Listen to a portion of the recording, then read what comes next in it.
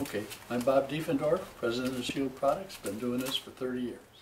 We manufacture coatings. Um, Tell me a little bit about the, uh, uh, what, what happened with the test for the space station and the Navy.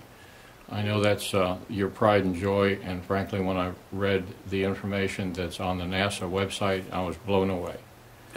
So were we, Yeah. yeah.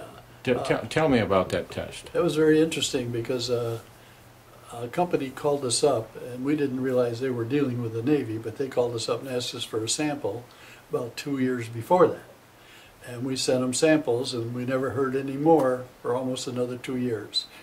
Uh, and then one day I get a, an email telling me how wonderful our product worked out on the space station, and that was my first knowledge.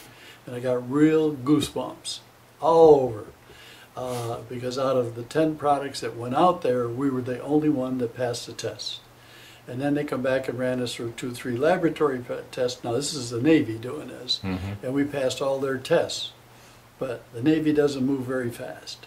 So we have started to sell a little bit here, a little bit there, uh, but it's used in uh, by the military. It's on C-17 aircraft, other aircraft.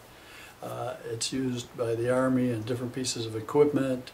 The Navy, they've got it on ships. It's used all over the world uh, for different purposes, and it's being sold all over the world.